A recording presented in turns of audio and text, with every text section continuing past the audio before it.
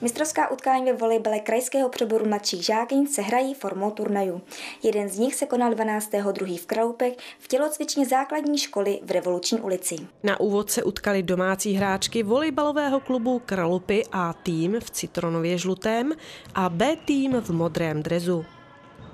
Adeptky volejbalového umění nahrazovaly technické nedostatky obětavostí a touhou po vítězství. Snahou bylo dostat míč na polovinu soupeřek. Ačko mělo lepší výškový průměr, což je ve volejbale nesporná výhoda. V obou týmech se našly hráčky, které měly dobrou techniku. Vysoká Hyklová s jedenáctkou z Ačka dovedla dobře blokovat míče soupeřek. Oproti tomu dobré prsty při zpracování míče ukázala Pitoňáková se sedmnáctkou z B týmu.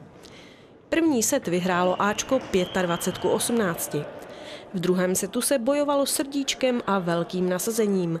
Veselá s 22 z Bčka ukázala, co je dobrý lob, který znamenal bod. A tým se snažil přesně usměrněnými míči do volných prostor soupeřek bodovat. To se lépe dařilo A týmu, který vyhrál druhý set 25 k 10 a tím 2-0 na sety. V dalším střetnutí se představili hráčky Sokola Komárov v modrých barvách. Jejich soupeřky, volejbalový klub Benešovská, hráli v oranžovém. Lepší výškový průměr hovořil ve prospěch Benešova. U Benešova ukázala razantní podání Štěpánková s dvanáctkou a dobrý smeč přidala Brabcová se čtyřkou a byly to body pro Benešov.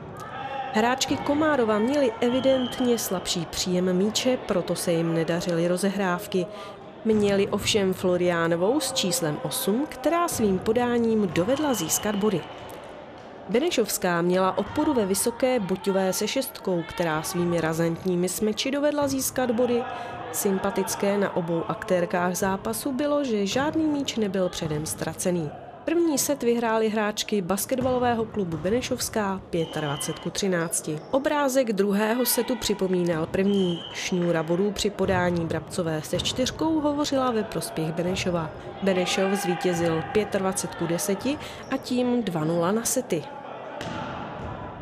Volejbalový klub Kralupy B v modrých barvách se utkal s VK Benešovská v oranžových. Podání hostující Štěpánkové s dvanáctkou znamenalo zisk bodů a dobře lobované míče Janku s osmičkou přidalo Benešovu další bodový zisk.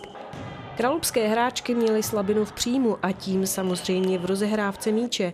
U domácích hráček uspokojili Zabilanská se 24 při příjmu míčů a Hyklová se čtyřkou přesnými loby.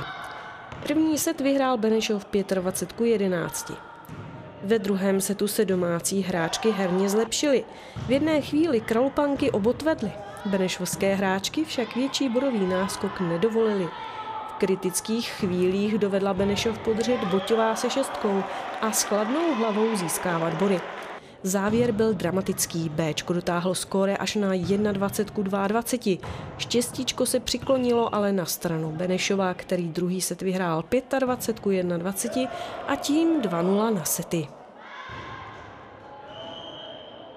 V následujícím utkání turnaje na sebe narazili volejbalový klub Krolby A v citronově žlutých barvách a Sokol Komárov, který hrál v modrém.